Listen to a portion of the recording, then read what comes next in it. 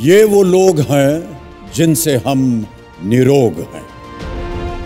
ये वो लोग हैं जिनसे हम निरोग सेवा का व्रत लिया इन्होंने, जीवन अपना दिया इन्होंने। हमें है इन पर अभिमान, इनको हम करते हैं प्रणाम। ये वो लोग हैं जिनसे हम निरोग हैं। कस्बा कस्बा, गाँव शहर, सुबह शाम या दोपहर चाहे जितनी बड़ी बीमारी, सबसे लड़ने की तैयारी, ये वो लोग हैं जिनसे हम निरोग हैं। सबका इलाज, सबकी दवा हो, परिवर्तन की नई हवा हो, देश विकास का उपलक्ष्य है ये, संपूर्ण स्वास्थ्य का लक्ष्य है ये ये वो लोग हैं जिनसे हम निरोग हैं, जिनसे हम निरोग हैं।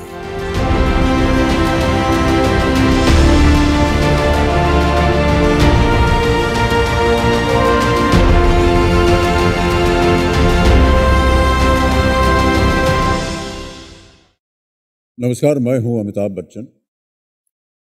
एनडीटीवी डेटॉल बनेगा स्वस्थ इंडिया के नवे सीज़न के ग्रैंड फिलाने में आप सब लोगों का स्वागत। इस वर्ष हमने एक लक्ष्य चुना था, लक्ष्य संपूर्ण स्वास्थ्य का। वो लक्ष्य जिसका देश के संपूर्ण विकास से भी वास्ता है। एक धरती, एक स्वास्थ्य का लक्ष्य। सबके लिए इलाज से जुड़ी सुविधाएँ मुहैया कराने का लक्ष्य। यह आसान काम नहीं था। सबसे बड़ी चुनौती यह थी कि कोई पीछे न छूट जाए। तो हमने कोशिश की कि हर किसी तक पहुँचे। जो गरीब हैं, जो साधनहीन हैं, जो अपने स्वास्थ्य पर बहुत पैसे खर्च नहीं कर सकते, जो दूर दराज के क्षेत्रों में रह रहे हैं, उन तक भी जाए। उनकी कहानियाँ आप तक पहुंचाएँ। दो साल पहले हमने कोविड को परास्त किया। लेकिन अब भी कई बीमारियों की चुनौतियाँ बची हुई हैं। डायरिया हो, दूसरी संक्रामक बीमारियाँ हो, टीबी हो, कैंसर हो, इन सबसे लड़ना है। हर तरह की बीमारी का इलाज करना है। यह काम अकेले नहीं हो सकता था। इसमें हमारी मदद की इस देश के महान डॉक्टरों ने, जिन्होंने अपना सब कुछ दूसरों की सेवा और सहायता में समर्पित कर दिया। ये डॉक्टर दूर दूर जाकर काम करते रहे। देश ने इन्हें सम्मानित भी किया। ये तमाम डॉक्टर पद्म सम्मानों से सम्मानित हैं, पद्मश्री से लेकर के पद्म भूषण तक। आज हमारे बीच ऐसे कई विशिष्ट मेहमान हैं, वो डॉक्टर जिन्होंने लगातार संपूर्ण स्वास्थ्य के लक्ष्य के लिए काम किया है। ये अवसर उनके सम्मान का भी है और उनसे बहुत कुछ सीखने, समझने का भी।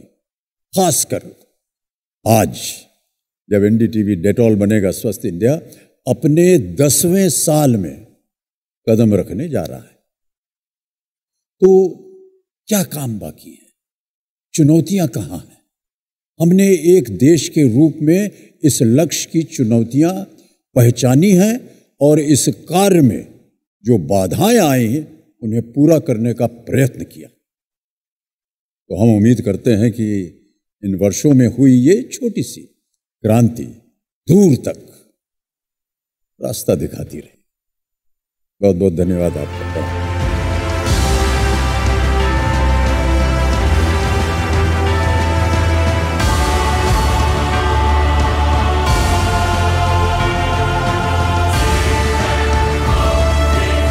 नौ साल पहले भारत का सबसे भरोसेमंद न्यूज़ नेटवर्क और भारत ही नहीं, विश्व की सबसे भरोसेमंद हाइजीन ब्रांड एक साथ आए।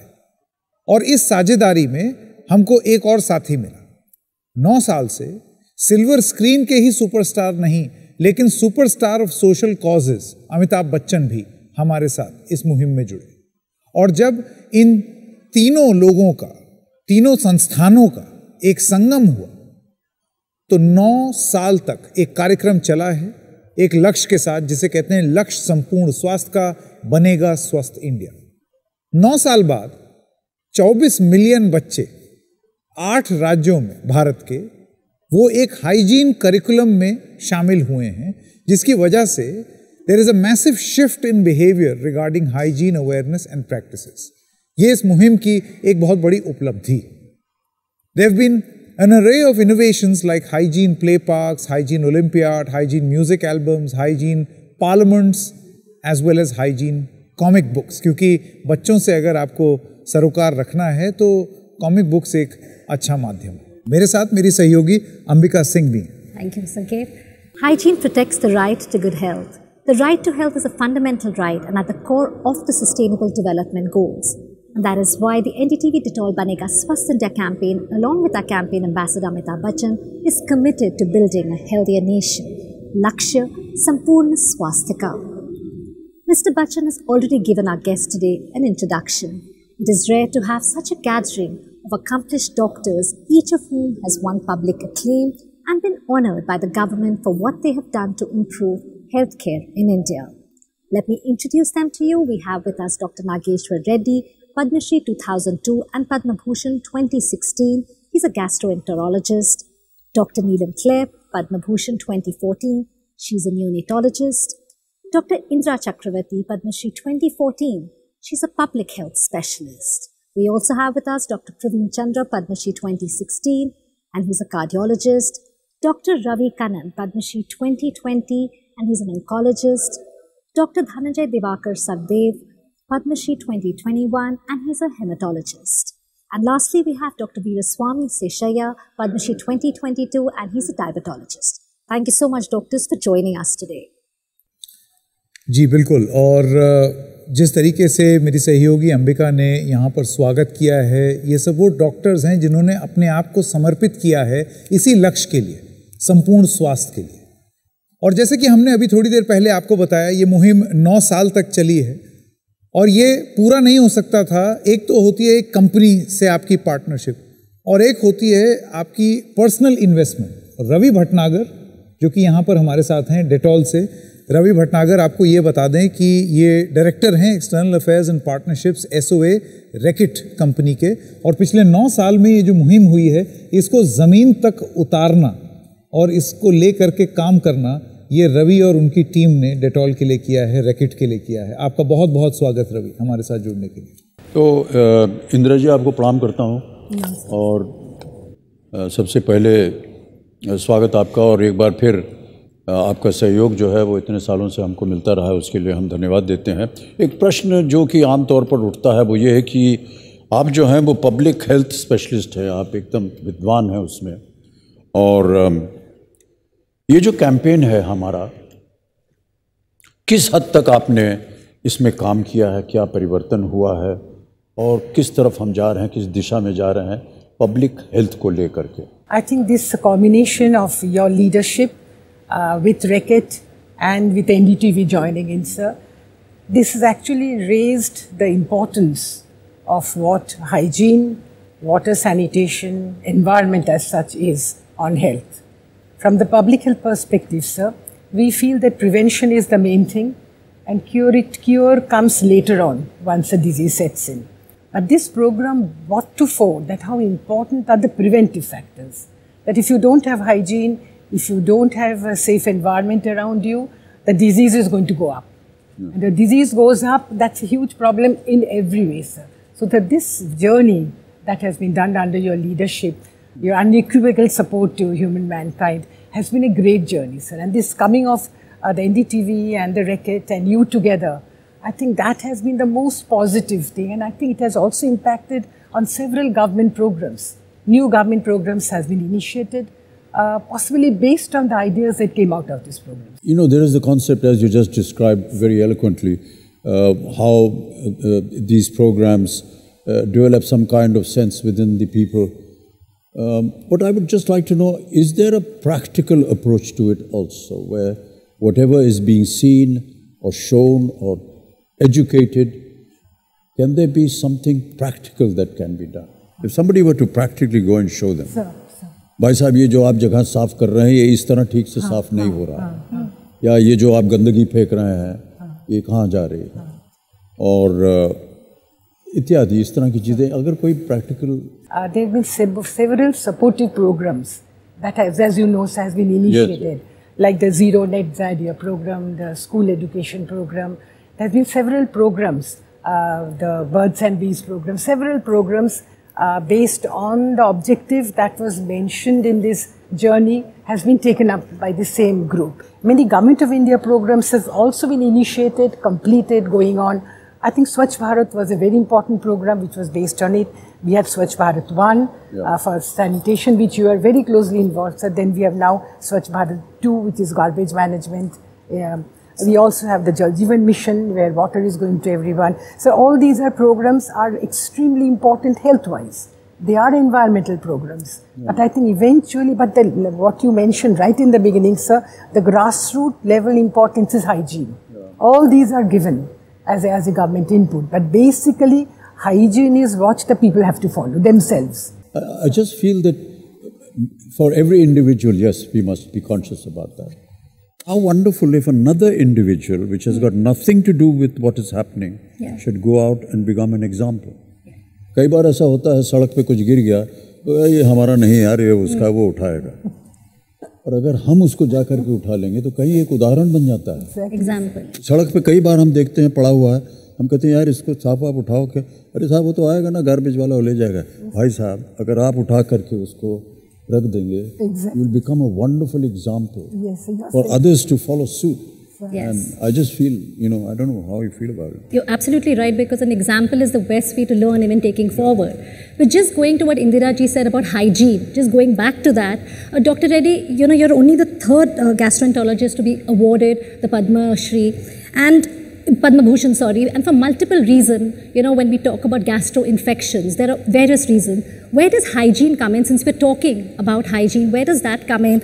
And we just saw a solution on the report, like, you know, when diarrhea kits were given.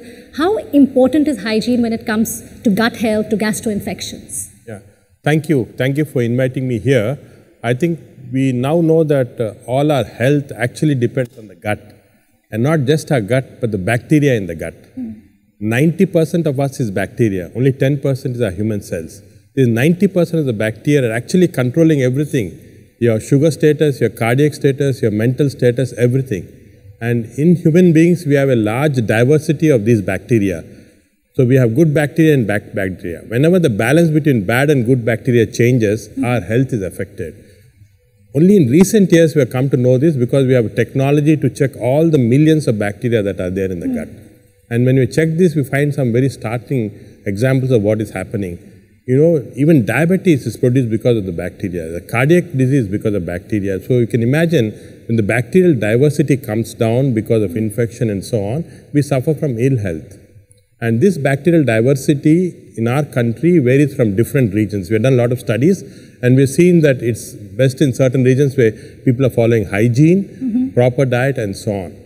In fact, if you don't do this, if you take frequent antibiotics for diarrhea and so on, your bacterial diversity goes down and you suffer all the ill healths. This is, this is very important to know. In fact, we have a very small experiment which we did. We, we adapted about 20 villages where we started, for last 10 years, we're following up these individuals, gave them safe, protected water, gave them toilet hygiene, told them about toilet hygiene and changed the food habits to more fiber food, vegetarian.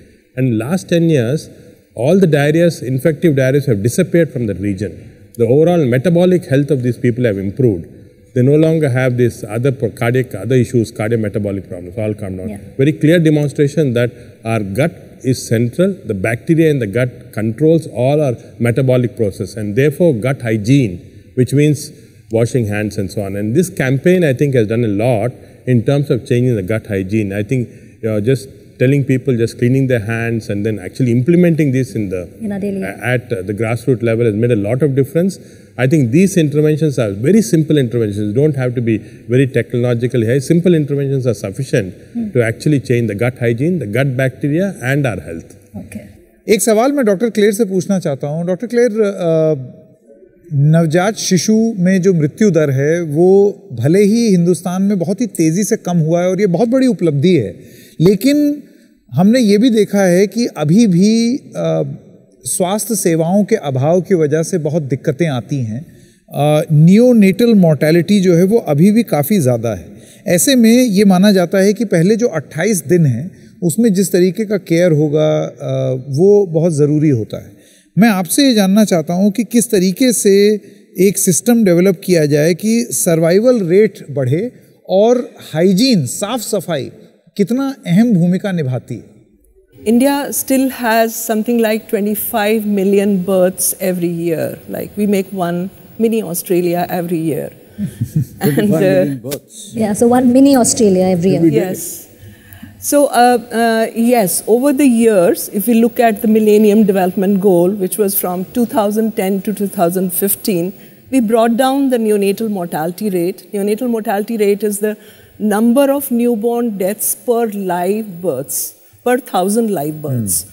So, like, you know, we started with a very high, and we have come down to 24 per thousand live births, which mm. is like almost 60% reduction from 1990 from the Millennium Development To simplify this, this means of the thousand uh, kids births. born, yes, yes, 24 Die. end up dying. Are still dying. Yeah, yeah still. And that still. is a reduction, drastic reduction. Yeah. That's a very drastic okay. reduction. We need to congratulate hmm. ourselves and the government on that. Yeah. But as you know, very in the very beginning, we said that our aim is to take everybody along with us. Like the government's uh, slogan is ki हर एक का साथ सबका विकास तो अगर हम हर एक का साथ हर एक का विकास देखें तो अभी भी बहुत डिस्पैरिटीज़ हैं you know there are states like Kerala which have you know single digit neonatal mortality rate and there are some states where the neonatal mortality rate is still high if we look at the rural and urban population the rural has much higher um, if we look at you know uh, poor and rich there are still disparities i think what everybody wants is a healthcare with dignity. Yes. So I think if we ha have to, you know, really save and come down to the SDG goal, which is 12 per thousand live births, then we have to be more holistic. We have to teach hygiene, hygiene in the hospital. Unfortunately, in many of the hospital, hygiene is not there. Hand washing techniques are not there. 24 hours, 7, water is not available. Soap is not, simple things, you know. Yeah. Antibiotics are available, but 24 7, water is not. So we have to look at those gaps. minor things yeah. which fill in the gaps so that we can take everybody together and then probably we can reach the goal. I think it is, it is doable. Yeah. Thank you so much, ma'am. Um, I'd just like to, uh, first, of course, welcome again Dr. Kanan, Dr. Ravi Kanan, and uh, thank you so much for joining us, sir. Um, because of the Lakshya Sampurn Swasth campaign, we are um, very keen to know how uh, you have collectively gone far away to a place like Silchar in Assam and worked on uh, cancer patients. And how far and how effective has this been? And why particularly did you choose uh, Assam and Silchar? So going away to Silchar from Chennai is not a very big thing. So people go away from Chennai to Chicago, the other side of the globe. Completely yes. different environment, different yes. language, different food, different everything different. But this is India. And wherever you go in India, you remain an Indian. And nobody will ever ask you, aap kyun yahan aaye? And so we went there because there was a tremendous need. Mm. And the local community wanted us to go there and my family supported us. So we went there. What we learned, I used to work at the Cancer Institute in Chennai and there we had a policy of treating everybody no matter what their socio-economic status. Mm-hmm. And yahi idea leke hum Silchar gaye. And where we learned that you can provide low cost or no cost treatment, boarding and lodging, फिर भी लोग इलाज नहीं कराएंगे and there are very many perfectly valid reasons as to why they don't do that. They all work for daily wages cancer का इलाज लंबा चलता है। बार बार अगर अस्पताल आना होता है, उनका इनकम सफ़र करता है। The family staffs so they don't come many of our patients are actually afraid of going despite all the support that is provided. अस्पताल जाने से डरते हैं। उनको लगता है अस्पताल जाएँगे, उनका जो बचा कुचा पैसा है निकल जाएगा and they will all be on the streets and so when we treat poor people If you have a pro-poor strategy, 10 out of 10 times we have to prove it to them. Every time वो सड़क में आपको रोकते हैं, you have to demonstrate you mean what you say. अस्पताल में बात करते हैं, OPD में बात करते हैं, every time the whole team, it has to be teamwork. It is not a one-man show. Doctors, nurses, technicians, ward boys, the doorman, दरवाजे में doorman to director, everybody must echo the same sentiment. And part of treatment, successful treatment is जब सबका इलाज होगा 100 people come into the hospital, 100 people must avail of treatment. And to do that, part of it is economics, low cost treatment, boarding law, but also a lot of it is confidence building. The person who walks in must feel every time they talk to somebody that they are supported, that they are needed. And this has been our main learning over the last. I, I think it's, it's uh, some of the points you've said are very valid. Um, Unfortunately, whenever somebody falls ill or feels that you know he needs hospitalization, the first thought does not come that I need to see a doctor or go to a hospital. The first thought he thinks of, yaar isme kharcha kitna hoga?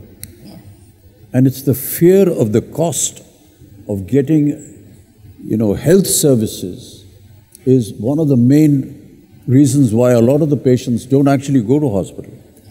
And were they to go there, I'm sure that in time, you know, these dreaded diseases like cancer uh, have been cured today. Um, Ravi Bhatnagarji, uh, just going to ask you something. For nine years, the Dettol NDTV's Banega Swasth India campaign has worked on multiple programs that have related to health and hygiene uh, of both humans and the environment that we inhabit. Now, these programs have also addressed many of the SDGs. What has been your impact uh, or your uh, you know, experiences, where do you feel that there has been a maximum impact? Uh, thank you so much, sir, for asking yeah. me this question.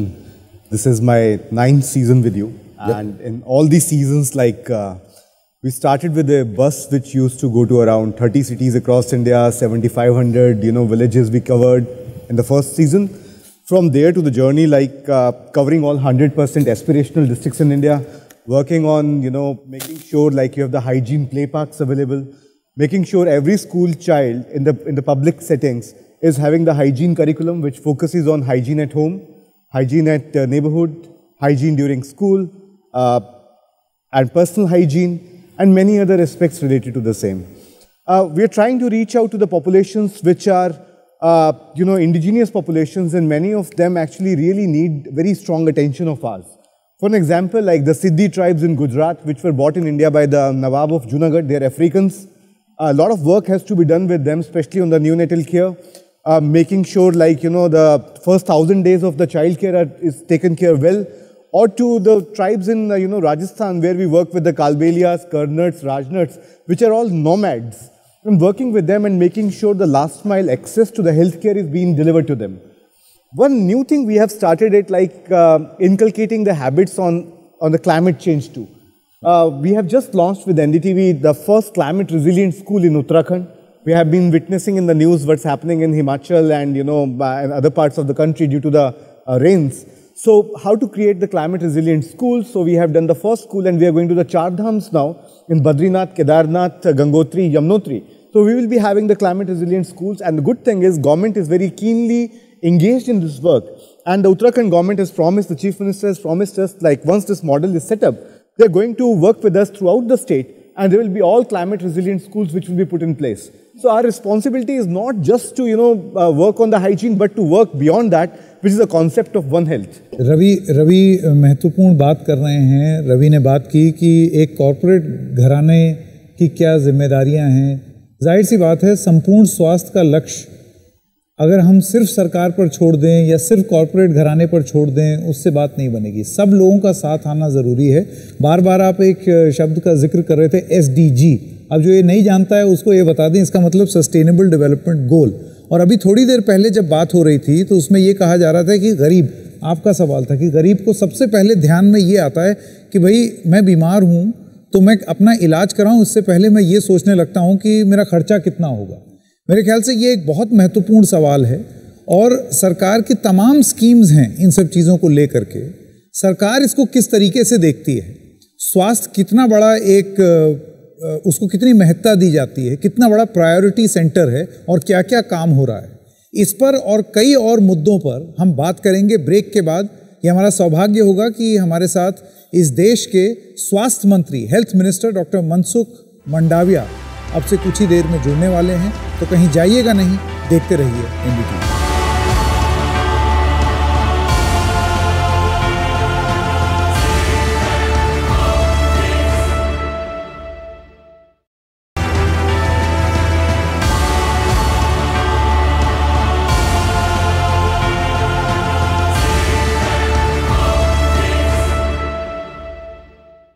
एक बार फिर से इस कार्यक्रम में आपका स्वागत है और अब मंच पर हमारे साथ हैं देश के स्वास्थ्य मंत्री मनसुख मंडाविया जी।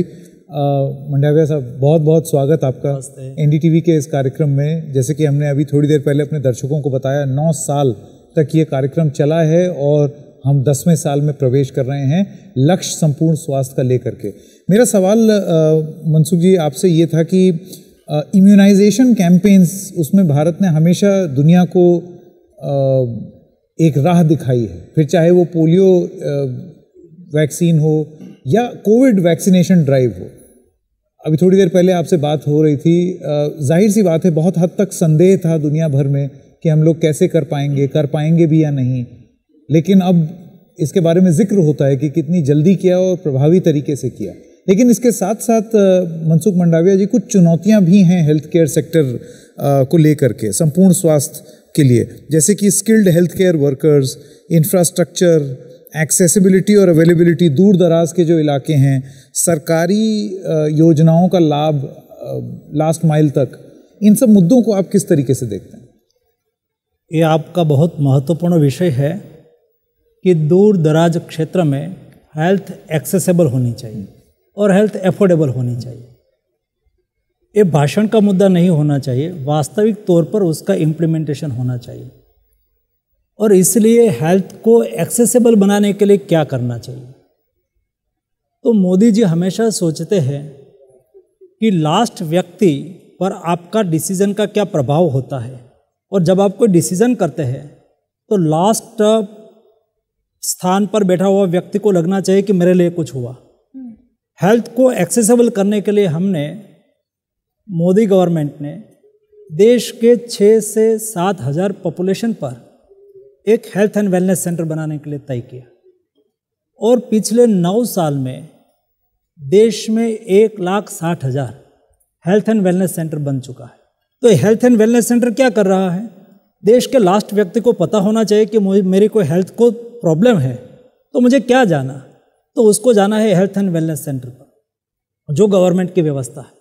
प्राइवेट व्यवस्था तो कोई भी हो सकती है लेकिन गवर्नमेंट की ओर से उसको ये एश्योरिटी है कि आप हेल्थ एंड वेलनेस सेंटर पर पहुँचेंगे तो वहाँ आपको प्राइमरी ट्रीटमेंट मिलेगी। वहाँ आपको प्राइमरी प्राइमरी ट्रीटमेंट मिलने के बाद आपको सेकेंडरी केयर के लिए कहाँ जाना है जो आवश्यकता लगी तो उसको कहा जाएगा कि आपको डिस्ट्रिक्ट हॉस्पिटल पर जाना है सेकेंडरी केयर के लिए और फिर भी ऐसा लगे कि उसको और टर्शरी केयर की आवश्यकता है। तो ये डिस्ट्रिक्ट प्लेस पर ही कैसे प्राप्त हो। और उसके अलावा देश में बाईस एम्स तैयार हो रही है सोलह एम्स ऑलरेडी चालू हो चुकी है। तो वहाँ हर स्टेट में हर नागरिक को नज़दीक से नज़दीक के स्थान पर उसको टर्शरी केयर हेल्थ फैसिलिटी अपने ही स्टेट में मिले। उसके लिए भी हमारी गवर्नमेंट ने सुनिश्चित किया है। मतलब हेल्थ को एक अलग दृष्टिकोण से हमें देखने की आवश्यकता और मेरा मानना है कि हेल्थ सेक्टर में हम दुनिया का मॉडल एक्सेप्ट करें ज़रूर नहीं है भाई। सभी देश का पॉपुलेशन अलग है क्लाइमेट अलग है उसका डिसीज अलग है उसकी आर्थिक स्थिति अलग है। तो हमें हेल्थ का मॉडल ये हमारे देश की स्थिति के आधार पर बनाना चाहिए। और ये हम बनाने की कोशिश कर रहे हैं और उसमें हम सफल जा रहे हैं। जी जी बहुत बहुत धन्यवाद धन्यवाद आपका। एक मुद्दा जो बार बार उठता रहता है ऐसी सभाओं में और वो एक विषय को लेकर के है। जो कि बहुत ही महत्वपूर्ण है, वो है जो स्वस्थ भारत, समस्त स्वस्थ भारत के अभियान में, जैसे टीबी मुक्त भारत अभियान, ये भारत सरकार ने इसको आरंभ किया है। और हालाँकि देखा गया है कि बहुत से इसके जो नंबर्स हैं, वो कम भी हुए हैं, लेकिन अभी भी हमें वो स्थान नहीं मिला कि हम कह सकें कि हाँ आज भारत जो है, वो टीबी मुक्त हो गया। ऐसा शायद कोई अभियान है कि शायद 2005 तक ये हो जाए। संपूर्ण इस ओर कितना एक चौथाई कहते हैं दुनिया भर में। Yeah, एक चौथाई जो टीबी विक्टिम्स हैं वो भारत से वो भारत में है। और ये क्यों होता है हाँ पता नहीं क्या है। बहुत सी बहुत से लोग कहते हैं कि इस वजह से हुआ है इस वजह से हुआ है। कई बार ये धारणा थी टीबी को लेकर की कि वो गरीबों में होता है क्योंकि वो ऐसे स्थान पर रहते हैं। जहाँ रह- लेकिन अब कहने में सर मुझे थोड़ी आपत्ति हो रही है क्योंकि हर सभा में हम अपना ही उदाहरण देते रहते हैं। हमको भी टीबी हो गया था बैठे बैठे हाँ। और हुआ ये कि लोग डर जाते हैं सर। अरे टीबी हो गया अब तो ख़त्म हो गया कहीं जाना पड़ेगा। लेकिन हमने इलाज शुरू किया पता लगाया और इलाज हो गया और आज हम आपके सामने हैं हम टीबी मुक्त हैं। तो इसी तरह हम चाह रहे हैं कि आप हमारे दर्शकों को बताएँ कि भारत टीबी मुक्त कब होगा। पोलियो मुक्त तो हो गया है। अब टीबी मुक्त भी हो जाए तो पोलियो मुक्त आपका भारी योगदान रहा है। सर हमारा योगदान नहीं जो आपने क्या- जो भी हो जो भी हो किसी तरह इसी तरह की सभाओं से उसका परिणाम होता है। जी। सवाल है अमिताभ जी देश के सामर्थ्य को समझना। ये देश में बहुत सामर्थ्य है लेकिन उसको अपना मॉडल देना होगा। फॉर एग्ज़ाम्पल स्वास्थ्य सेक्टर एक ऐसा है हमारे लिए स्वास्थ्य ये कॉमर्स नहीं है, इंडिया के लिए स्वास्थ्य ये सेवा है। और जब आप देश के नागरिक को प्रेरित करो, उसको दिशा दो तो कैसा आउटपुट निकल सकता है, उसका एग्ज़ाम्पल में जो आपने विषय छेड़ा है कि देश कब टीबी मुक्त बनेगा। देश को टीबी मुक्त बनाने के लिए सरकार की ओर से आज तक आज़ादी के बाद से आज तक प्रयास होता रहा। लेकिन जैसा आपने कहा कि सफलता मिलनी चाहिए, ऐसी नहीं मिली। दूसरा, उसके लिए पर्याप्त मात्रा में मेडिसिन भी है। वो ट्रीटेबल है, ट्रीटमेंट हो सकती है, इलाज हो सकता है, स्वस्थ हो सकते हैं, लेकिन भी टीबी का केस बढ़ रहा है। सवाल यह है कि हम उसके लिए व्यापक पब्लिक अवेयरनेस करके लोक भागीदारी से उसको मिटा सकते हैं क्या? जब मैं हेल्थ मिनिस्टर बना तो मेरे संज्ञान में ये विषय था, मोदी जी ने कहा था कि ग्लोबल गोल है कि देश को 2030 में विश्व को टीबी मुक्त होना है। तो मोदी जी ने कहा कि हम 2025 में देश को टीबी मुक्त करेंगे। ये बात को पूरा करने की एज ए हेल्थ मिनिस्टर मेरी जिम्मेवारी है कि हम क्या करें। मैंने एक डिजिटल प्लेटफॉर्म बनाया, निक्षय मित्र पोषण अभियान और निक्षय मित्र पोर्टल। और मैंने उसके ऊपर आह्वान किया। मैंने कई इंडस्ट्रीज़ के साथ कंसल्टेशन किया पॉलिटिकल पार्टियों के साथ कंसल्टेशन किया एनजीओ के साथ कंसल्टेशन किया और मीडिया के माध्यम से पब्लिकली कंसल्टेशन किया कि मैंने एक डिजिटल प्लेटफॉर्म बनाया है। वहाँ सारे टीबी मरीज़ मरीज़ कौन से ब्लॉक में कितना है, उसका सूची दी है। नाम नहीं दिया है, सूची दी है। और सभी टीबी मरीज़ के पास मैंने सरकारी लोगों को भेजा, मेरा हेल्थ कर्मियों को भेजा कि आप जाओ और उसको कहो कि आपको कोई गोद ले तो आपको दिक्कत नहीं है ना? तो ऐसे कुल मिला के उस वक्त चौदह लाख टीबी मरीज़ थे। उसमें से दस लाख टीबी मरीज़ ने कहा कि हमें कोई गोद ले ले तो हमें कोई दिक्कत नहीं। और मैंने प्लेटफॉर्म पर रखा कि जो गोद लेगे उसको क्या करना है?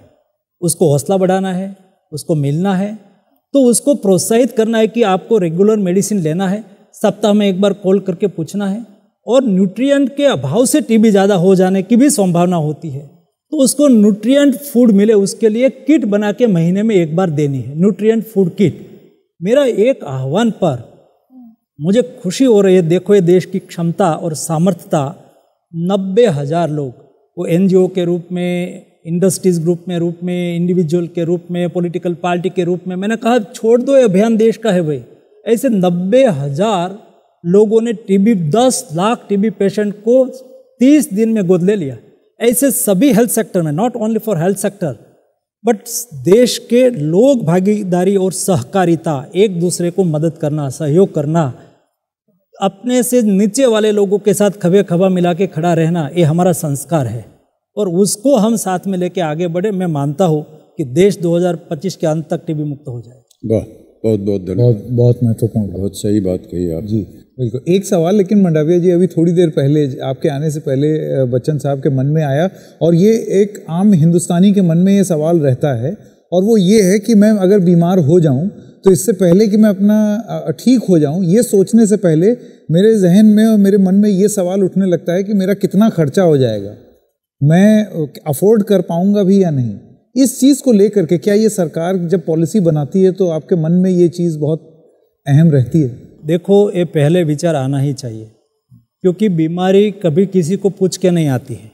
वो गरीब के यहाँ भी आती है, अमीर के यहाँ भी आती है। लेकिन कोई अमीर परिवार के यहाँ बीमारी आती है तो उसके जेब में पैसा होता है। और वो अपना अच्छी हॉस्पिटल में जाके इलाज करवा सकता है करवाना चाहिए। लेकिन जब कोई गरीब परिवार के यहाँ बीमारी आती आ जाती है तब उसकी स्थिति ये हो जाती है जब अस्पताल जाते हैं और कहते हैं कि हार्ट का ऑपरेशन करना पड़ेगा चार लाख रुपया का खर्च होगा। उसकी पैर के नीचे से ज़मीन खिसक जाती है। दैनिक दिन की मजदूरी करके खाने वाला व्यक्ति के यहाँ चार लाख का खर्च करने की कोई व्यवस्था नहीं होती शाहूकार भी उसको पैसा नहीं देता है, क्योंकि उसको गारंटी नहीं है कि वो वापस देंगे कि नहीं देंगे। आज आपके धारावी में एक गरीब परिवार के व्यक्ति का इलाज, आज एक अमीर परिवार के व्यक्ति का इलाज जिस हॉस्पिटल में होता है, ये हॉस्पिटल में अमीर परिवार के जब से होता है और गरीब परिवार के व्यक्ति का इलाज आयुष्मान भारत योजना से होता है देश में 60 करोड़ लाभार्थी आज आयुष्मान भारत योजना के द्वारा इलाज करवा रहे हैं। आज तक साढ़ा पाँच करोड़ लोगों का इलाज हुआ।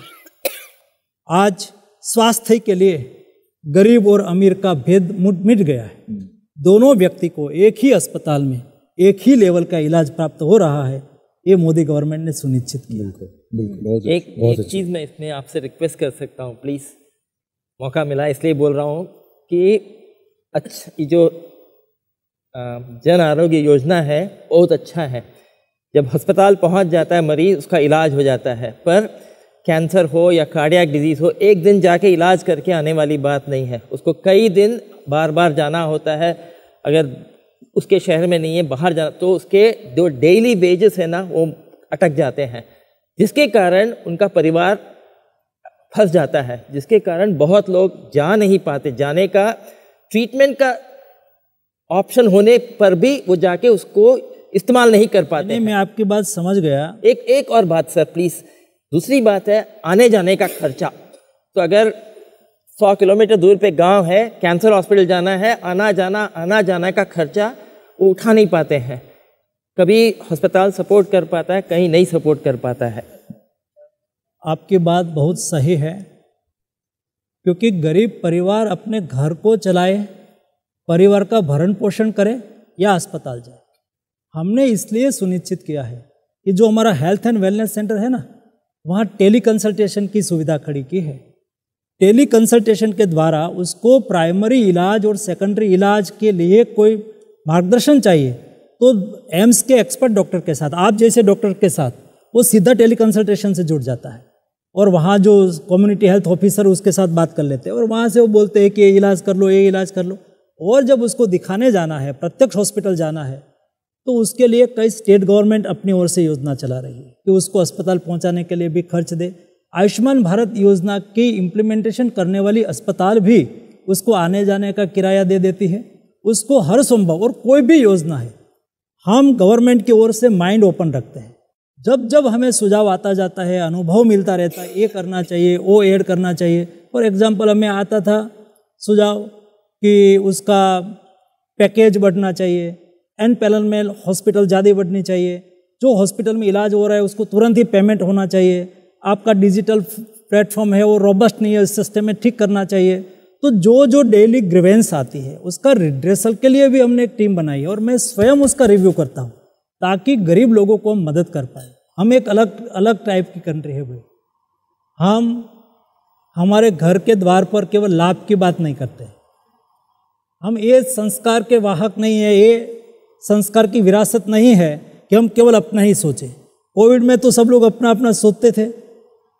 लेकिन हम इस विचार के वाहक हैं, हम हमारे घर के द्वार पर लाभ भी लिखते हैं, शुभ की लिख, शुभ भी लिखते हैं। मेरा कल्याण हो, होना चाहिए। प्राणी मात्र सोचेगा अपना कल्याण करने के लिए। दुनिया की सारी सभ्यता अपने बारे में सोचेगी।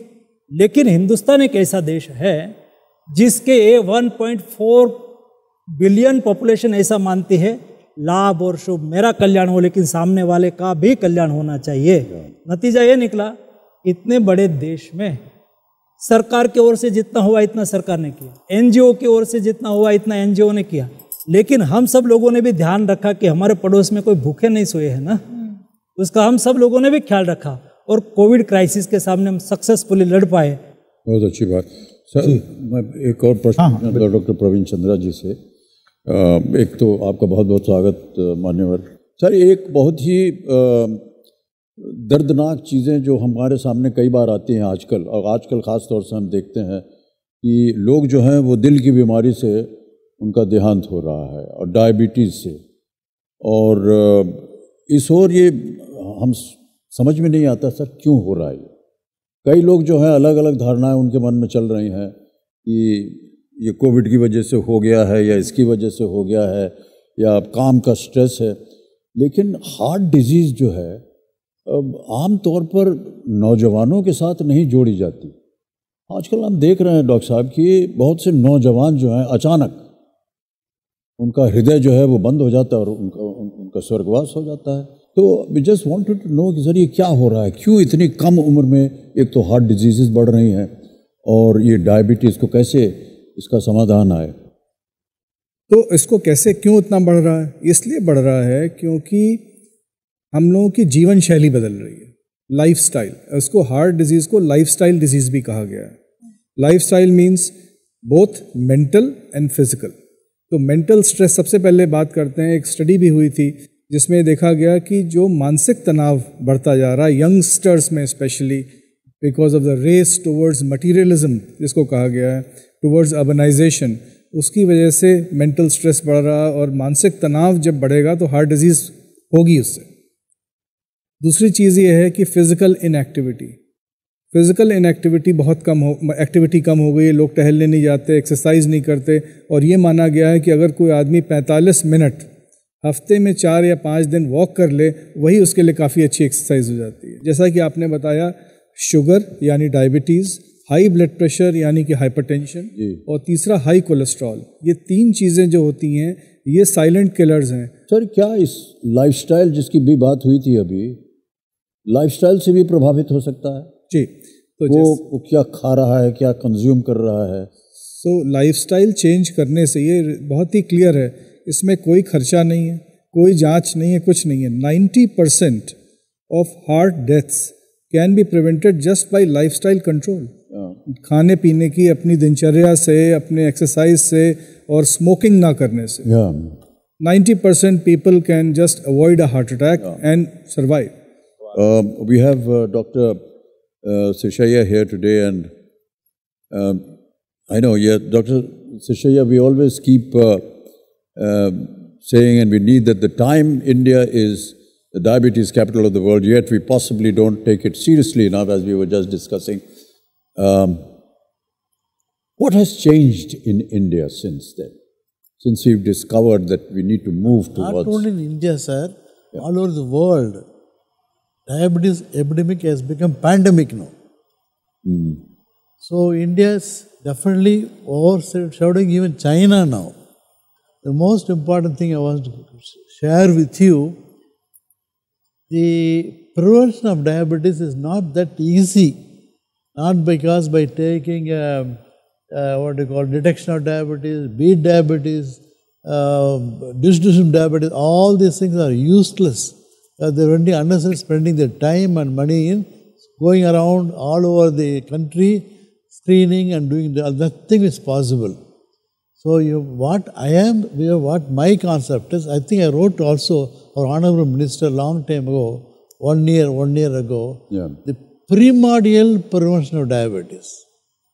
That is, that means if child should not develop diabetes in the future, it is possible. The last decade, David Barker told from United Kingdom that fetal origin of adult diseases, everything says fetus. Mother's womb is very important. So one may ask me, sir, why genetic? Why not can't- could be genetic? No genetic. It is not possible. Most important, epigenetic. Genetic may be there, it cannot produce diabetes. The present concept is, since in the neonatologist is here, eighth week itself you must check. Not at uh, 12th week and the old book says uh, first trimester, that's all gone. Why I am telling eighth week? Because 10th week is the time.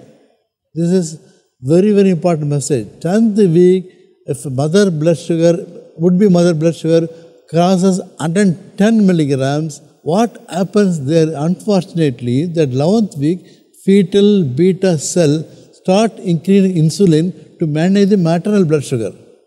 Mm-hmm. Once child starts secreting insulin, it will never stop. It will go on the stop.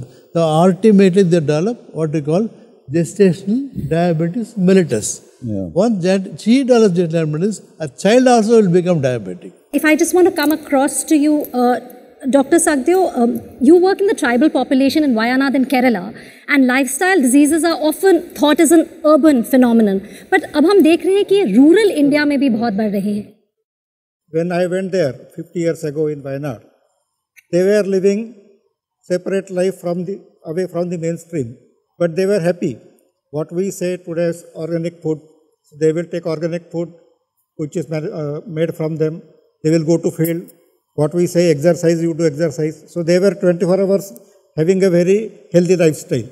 But because of this new encroachment into their life, because of, and we are trying to tell that this is the new better way of life. That is actually affecting their lifestyle, and this lifestyle diseases are number is increasing in uh, tribal health. In tribal health, I will add that we are working on a sickle cell disease, which is a genetic disease, and one of the uh, our prime minister main program it was declared that by 2047 the, India will be made free of sickle cell disease. Our honorable minister is also involved in it. So Vivekanand Medical Mission and we are working in Wayanad for uh, control of this sickle cell disease which is prevalent in uh, tribal communities in India.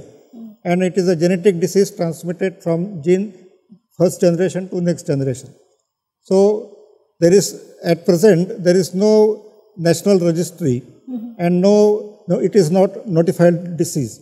So I will request minister to see that uh, it is uh, declared as notifiable disease so that all the patients or the expectant mothers just like diabetes if we test the sickle cell disease then it, the marriage pre-marriage counseling and passing the disease to the next generation can be prevented Thank you. सवाल उसमें इतना ही है समय पे effort करना और focus effort करना yes Italy ने सिकल सेल मुक्त हो गया जापान सिकल सेल मुक्त हो गया yes. इंडिया क्यों नहीं हो सकता है yes इंडिया में 278 डिस्ट्रिक्ट ट्वेल्व स्टेट सात करोड़ ट्राइबल पॉपुलेशन उसका स्क्रीनिंग करना है हमने yes. तय किया तीन साल में उसका स्क्रीनिंग कर लेना yes हर व्यक्ति को मैंने जब लॉन्च किया सिकल सेल एलिमिनेशन मिशन को yes. उस वक्त मैंने कहा था कि हमें व्यापक तौर पर जनभागीदारी से सुनिश्चित करना है yes.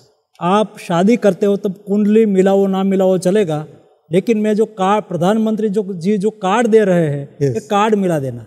तो कैरियर कैरियर है तो 50 परसेंट आपका बच्चे को सिकल सेल ग्रस्त होने की संभावना है। दोनों yes. पॉजिटिव है तो रेड आएगा आपको नहीं शादी करनी है। शादी की तो बच्चे पैदा नहीं करना है। एक बार लोगों में ये अवेयरनेस आ जाएगी तो करेंगे। ये देश में हमने कई ऐसे अभियान सक्सेसफुली चलाया है। Yes. दूसरा मैं भी उसको मॉनिटर करूँ इसलिए डिजिटल रजिस्ट्री होनी आवश्यक है। कोई भी डिसीज हो भारत सरकार के डैशबोर्ड पर पता होना चाहिए स्टेट को पता होना चाहिए डिस्ट्रिक्ट कलेक्टर को पता होना चाहिए और जनता को भी पता होना चाहिए। ये बहुत आवश्यक होता है। तो एफर्ट सिस्टमेटिक हो फोकस हो आउटपुट मिलेगा ट्वेंटी फोर्टी सेवन में। जब देश आज़ादी का शताब्दी वर्ष मनाएगा तब देश में सिकल सेल नहीं रहेगा। Doctor Reddy, I just want to uh, ask you uh, s- something about gut health. Yes. And it's become a very Um, we just like to ask you and tell the viewers and all of us uh, what you feel about it, uh, how it is affecting our lives. Because it's been noticed that gut health also um, provides an access to several other diseases, and uh, more importantly, sometimes your mental health as well. Um, maybe if you can just elaborate on that, Doctor. So I think um, as a gastroenterologist, we realized early that gut health is very important to maintain rest of the body. Like Dr. Praveen was saying, cardiac, cardiac heart also is controlled by the stomach, the gut. In fact, our ancient, uh, we used to have in the text saying that everything comes from the gut. That's true because the gut has a lot of bacteria which produce, all our food is digested by the gut. Bacteria send all these chemicals to the body and these chemicals control every activity of the body, the heart rate, the blood pressure, the mental health, everything is controlled. And any changes in the lifestyle, decreased exercises, Uh, abnormal food habits, uh, smoking, alcohol, everything affects the gut microbiome, causing dysbiosis in the gut and this problem. And one important thing we noticed is that fatty liver disease, which is part of the liver, is part of the gut, is affecting 30% of the Indians. 30%. Really? 30. Whether you stay in the village, whether you stay in the city, it's same. The fast foods, we think that fast foods are calories causing the problem. No, fast foods have additives and preservatives which is causing the problem. They have certain uh, uh, elements inside the fast yes, food, yes. Fast, which is fast foods have got like titanium, they got some phenols. All these are preservatives. And it's not the and they harm the body. And they harm the body. It's not the calories. These fast foods will change the bacteria, will cause damage to the gut, will cause damage to the uh, liver. In all Western countries, these preservatives, additives are very strictly controlled. Only 60 of them can be used. I don't know about the Indian law, but I request Honorable Minister, आप कुछ कर सके इसके लिए कि fast food वो additives और preservatives food में रेगुलेशन लेके आके कि ये certain only safe ones are given and unfortunately India we are not only becoming the diabetic capital, but we are becoming the capital for fatty liver disease. And this fatty liver disease leads to cirrhosis of the liver, liver cancers. Highest number of liver cancers in the world are in India. And we are genetically prone for fatty liver. So unless we control this, diabetes is okay, heart disease is okay, but fatty liver is going to kill many Indians. If we look at the gut microbiota, then when you're born, you're born with a normal gut microbiota if you're born by the normal vaginal delivery instead of cesarean section. If you're breastfed exclusively for the first six months, your first epigenetic normal microbiota is written. You are less likely to become obese. You are less likely to develop the lifestyle diseases. So actually, you know, we have to start right from the beginning. so it has the strength to tackle all these things. Yeah. So actually, one very important message to the public would be that if you want your child to have a normal, healthy start, exclusively breastfeed for the first six months, provide a environment which is supportive. You know, like in our public places, we are not very supportive about the breastfeeding. You go to the West, you know, women breastfeed even in the in the trains, local trains. I think, a better uh, lifestyle. yeah, what Dr. Claire says is right. There are three things to determine the gut health in a child. One is vaginal delivery, second is breastfeeding, third is no use, no antibiotic should be used. If Yeah. you follow these three, our children will start having a healthy gut. सब ये एक धारणा होती है ना socially यार हमारा पेट है बहुत स्ट्रांग है सब कुछ हजम कर जाएगा और सब ठीक हो जाएगा। और हम तो हम सुने हैं कि ब्लेड भी खा लेंगे तो गल जाएगा पेट के अंदर। बट यू नो जब इस तरह की सोशल चीज़ें बात होती है ना so then you are tempted to start eating stuff which is not going to be healthy जो बहुत गर्व महसूस करने लगते हैं लोग ये कहने की लकड़ी पत्थर सब हजम। हाँ सब हजम हो हाँ लेकिन ऐसा होता नहीं होता है। नहीं है मनसुख मंडाविया जी में आपके लिए जो बना है आपका ट्रेडिशनल फ़ूड है? हाँ। जो आपका खाने का है वही खाओ कुछ नहीं होगा। देश की सॉरी सर हाँ। देश की विचित्रता की बात कर रहे थे आप और भोजन और क्या क्या खाना चाहिए what we eat sir there is some हमारे संस्कार हैं sir there is some I feel historical feeling you go to any different state the food will be different different कुछ तो सोच समझ करके वहाँ पर वो खाना बना होगा जो कि अब ट्रेडिशनल फ़ूड बन गया है। एंड वही लोग चाहते भी हैं और वो लोग जो खाते हैं सर उससे स्वस्थ रहते हैं।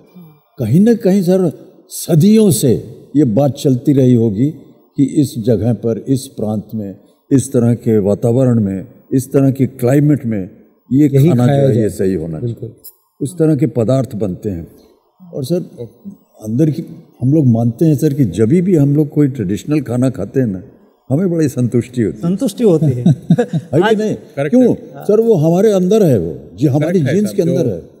ट्रेडिशनली जो diets thousands of years से आए each रीजन में, it is made for that particular region, for that particular type of activity जो वेदर है और जो digestion everything is mix together local food तो लोकल फ़ूड तो लो जो लोकल फ़ूड जो मिलता है वो that is the best for that बिल्कुल सर जो we are making a mistake by adapting other thing यहाँ पर सब लोगों ने अपने अपने सुझाव दिए हैं और बहुत कुछ बताया है। एक छोटे से ब्रेक के लिए रुकते हैं और मनसुख जी और अमिताभ जी ब्रेक के बाद जब आएँगे तो क्यों ना एक प्रस्ताव के बारे में बात की जाए कि जब इतना ज्ञान है इतना इतना जानकारी है तो इसको लोगों तक कैसे पहुंचाएँ?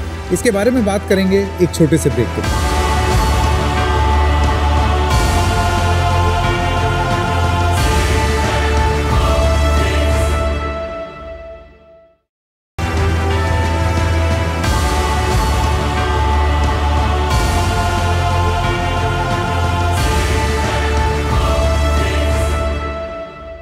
नमस्कार, एक बार फिर आपका स्वागत है। आप देख रहे हैं एनडीटीवी डेटॉल बनेगा स्वस्थ इंडिया। हम नौवे साल की समाप्ति की ओर बढ़ रहे हैं और जल्द ही भारत में स्वास्थ्य को लेकर सबसे लंबे समय तक चलने वाली टीवी मुहिम दसवें साल में प्रवेश कर जाएगी। मेरा इस मकसद पर बहुत गहरा एक भरोसा है और इसलिए मैंने एनडीटीवी और डेटॉल से हाथ मिलाया है। ये बिल्कुल सही समय है याद दिलाने का कि हम 2030 तक निर्धारित सस्टेनेबल डेवलपमेंट गोल्स यानी कि टिकाऊ विकास के लक्ष्यों से केवल सात साल दूर होंगे और हैं। अगर हम सबको संपूर्ण स्वास्थ्य मुहैया कराना है और उसको चाहते हैं कि वो हो जाए, हमें देश भर से हर किसी की आवाज़ को सुनना होगा, हर किसी की कहानी सुननी होगी। और इसलिए बनेगा स्वस्थ इंडिया के दसवें साल में। हम ठीक इसी काम पर ध्यान देंगे। हम अपनी कलम और अपने माइक, जिससे हम बोलते हैं और कह रहे हैं कि युवा लोगों के हाथों में सौंप देंगे, उन्हें प्रेरित करेंगे कि वो स्वास्थ्य से जुड़ें जन भागीदारी के मुद्दों पर अपनी कहानियाँ सुनाएँ, स्वास्थ्य पत्रकारिता पर इस स्कॉलरशिप के ब्यौरे जल्द ही बनेंगे स्वस्थ इंडिया की वेबसाइट पर। आइएगा उसे और इसलिए देखते रहिए हमारा ये कार्यक्रम। धन्यवाद। मनसुख मंडाविया जी, मैं आपसे पूछना चाहता हूँ अभी अमिताभ बच्चन जी जो कह रहे हैं हेल्थ जर्नलिज्म स्वास्थ्य के बारे में पत्रकारिता, अक्सर ये माना जाता है कि हेल्थ बीट एजुकेशन बीट ये जर्नलिज्म में कोई बहुत बढ़िया बीट नहीं है। जब तक कोई बढ़िया पॉलिटिकल स्टोरी ना लेकर के आओ तब तक दर्शक भी रुचि नहीं रखेगा लोग भी नहीं देखेंगे। लेकिन आज इस मुहिम की घोषणा हुई है कि स्वास्थ्य पत्रकारिता को आगे रखना है और उसके ब्यूरोज बनाने हैं उसके बारे में ताकि लोगों तक इसके बारे में पहुँचाया जाए। इस मुहिम के बारे में आपका क्या विचार? मैं कहूँगा कि आज तक जो होगा हो होगा लेकिन पोस्ट कोविड एरा बदल गया है।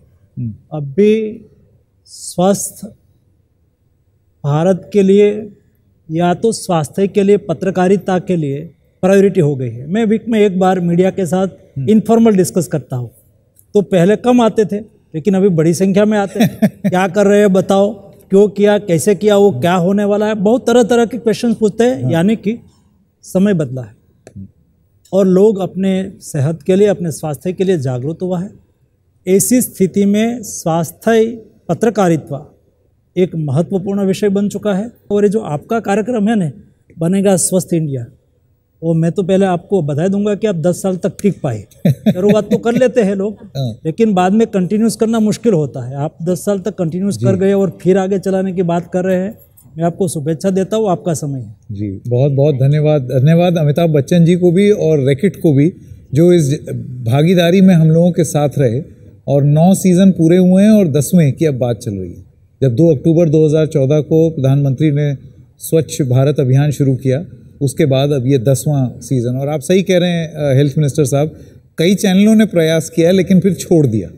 ये दस साल अब शुरू होने जा रहा है N D T V I have a question for doctor Khan sir you work in remote areas and I am sure that there must be many incidents where you have faced certain circumstances और stories from the people that you work with. And um, is there anything of interest that we could share today on this panel? See, empowering our community is the way we can move forward. So हम गाँव में हमारे area में बहुत दूर दराज जगह है जहाँ पहाड़ है जंगल है लोग आना जाना मुश्किल है हम आशाओं के साथ काम करते हैं and some of this ASHAs are just about eighth class pass लिखना जानती नहीं है कंप्यूटर नहीं चलाना जानती हैं उनको सिखाने से हमारे ऑफ़ हैंड आई रिमेंबर एक एक छोटे से गाँव में किसी महिला के स्तन में एक छोटा सा गांठ हो गया। हमारे इलाके में एवरेज ब्रेस्ट कैंसर का साइज़ 10 सेंटीमीटर एक एक नारियल स्तन में लेके आती हैं। इतना बड़ा होने के बाद कभी कभी फूट जाता है। आशा लोगों के साथ हम काम करते हैं। आशा को हमने सिखाया कि स्तन में कोई गिल्टी होगा, उसको डॉक्टर को दिखाना है। इस महिला ने आशा से सम कॉन्फिडेंस में बताया कि मेरे स्तन में एक छोटा सा गिल्टी है। अस्पताल नहीं आना चाहती थी। महिला ने उसको कन्विंस किया, उसको आने जाने का खर्चा उठाया और आशा महिला को हॉस्पिटल तक लेके आ गई। We investigated we found the cancer we treated her and that is to my thought a very very impactful journey a lady who's very basically lit, uh, educated because she is empowered with knowledge could bring about change. The other thing I want to add as part of this conversation is see सब लोगों ने बात किया India is changing from transforming from a developing to a developed country. हमारे बीमारियां भी from infectious diseases to lifestyle diseases में बदल रही हैं लाइफस्टाइल में अगर आप कैंसर को लेंगे the causes of cancer 70 percent of cancer are cause by tobacco smoking और chewing by areca nut supari alcohol poor dietary practices lack of physical activity and some infections and inflammation अगर ये चार पाँच कारणों को देखेंगे 70 परसेंट कैंसर को हम रोक सकते हैं। And we are a country that needs resources for so many things cancer को छोड़ दीजिए। कैंसर से कई गुना ज़्यादा है diabetes hypertension heart disease stroke COPD तमाम other non communicable diseases heart attack का कारण लेंगे tobacco alcohol diet exercise stroke का कारण लेंगे tobacco alcohol diet exercise COPD का कारण लेंगे डायबिटीज़ का कारण लेंगे हाइपरटेंशन का कारण लेंगे अन्यूरिज्म्स का tobacco alcohol diet exercise are cause for so many non communicable diseases जब हम कैंसर प्रिवेंट करने जाएँगे we are actually preventing all of these We are promoting health in the community and for a country to grow and prosper we have to be secure and we have to be productive only a healthy nation can keep itself secure only a healthy nation can progress can be Yeah. productive ji and to keep ourselves healthy is a national responsibility is as patriotic a job as protecting the country in the borders हम सबका सबका फर्ज बनता है to promote health it does not require a doctor और a nurse और a medical institution every one of us the ASHA can do that every one of us can do that and that is my learning from her Yeah, and that thank is you. What I think we Thank you should so promote um, माननीय मंत्री जी आपसे एक ऐसे ही सवाल पूछना चाह रहे हैं। आपने देखा होगा बहुत सारे यहाँ पर विद्वान बैठे हुए हैं जो कि चिकित्सा में और बहुत सारी बातें हो रही हैं बहुत सारे अच्छी अच्छी किस तरह से हेल्थ को लेकर के आगे। क्या ऐसा संभव हो सकता है कि एक सरकार की तरफ़ से एक हेल्थ काउंसिल बने?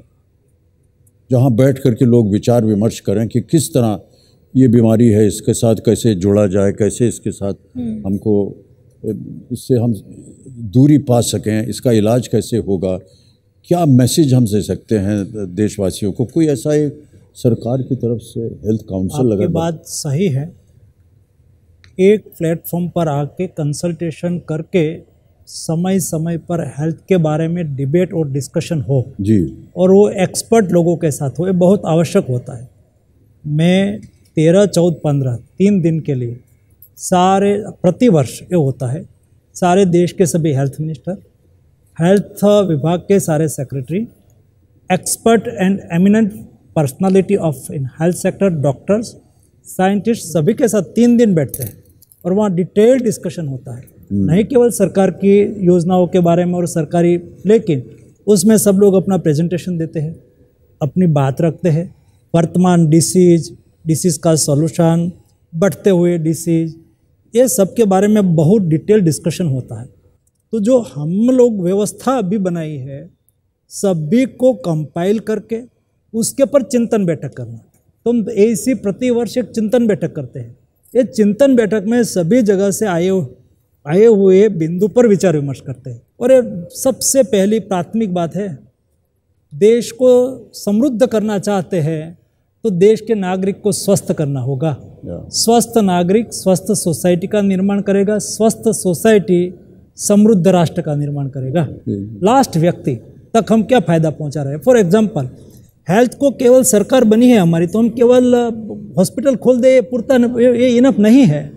लेकिन उसको हॉलिस्टिक अप्रोच के साथ देखना पड़ेगा। फॉर एग्ज़ाम्पल मैं अस्पताल खोल दूँ, लेकिन डॉक्टर ना हो तो? नौ साल हुआ। पहले साढ़े तीन सौ मेडिकल कॉलेज थी, अभी सात सौ सात मेडिकल कॉलेज हो गए। तीन साल में डबल हो गए। क्योंकि मुझे मेडिकल कॉलेज चाहिए, मुझे डॉक्टर चाहिए तो मुझे डॉक्टर की सीट बढ़ानी होगी एमबीबीएस की सीट बढ़ानी होगी। केवल चौपन हज़ार सीट थी। आज एक लाख सात हज़ार MBBS की सीट है। मैंने तय किया है यूजी पीजी दोनों सीट सेम होनी जा, हो जानी चाहिए। और हेल्थ सेक्टर में कॉम्पैक्ट माइंड नहीं चलेगा ओपन माइंड चलेगा। इसलिए कोविड क्राइसिस में हमने देखा कि हमारी कमियाँ क्या क्या है और हेल्थ सेक्टर को स्ट्रॉन्ग करने के लिए क्या करने की आवश्यकता है। तो हम रुके नहीं। हमने हमारी गलतियाँ को ढूंढी कि आने वाले 50 साल में देश में ऐसा कोई पेंडामिक आए तो मेरा देश उसका सामना करने के लिए सज्ज होना चाहिए। क्या करना चाहिए? 64,000 करोड़ का national health infrastructure mission launch किया। उससे हर डिस्ट्रिक्ट में 100 करोड़ रुपया का खर्च किया जाएगा ताकि टेस्टिंग फैसिलिटी सरकार की हो डिस्ट्रिक्ट लेवल पर एपिडेमियोलॉजी लैब हो वहाँ से लेके स्टेट और रीजनल लेवल पर हर डिस्ट्रिक्ट में एक सौ बेड का ऐसा क्रिटिकल केयर यूनिट हो जहाँ ऑक्सीजन फ्लो परमानेंट हो जहाँ वेंटिलेटर हो जहाँ all type of critical care की फैसिलिटी हो हमने तय किया और काम चालू कर दिया। वेट करने का समय नहीं है। नहीं नहीं ये बहुत महत्वपूर्ण बात है इस तरह की अगर काउंसिल सरकार की तरफ़ से बने और काम हो। मैं आपको बताऊँ क्या हो रहा है मेडिकल फ़ील्ड में एक और चीज़ हो रही है जब से इंटरनेट आया है कोई भी बीमार होता है ना वो सीधा जाके इंटरनेट को बोलेगा भैया हमको ये बीमारी क्या इलाज होना चाहिए। और वो बता देता है इंटरनेट सही है गलत है we don't know and I I just believe it may be a terrible practice you know I mean with all due respect, Google is not the answer to Dr. Google. a doctor.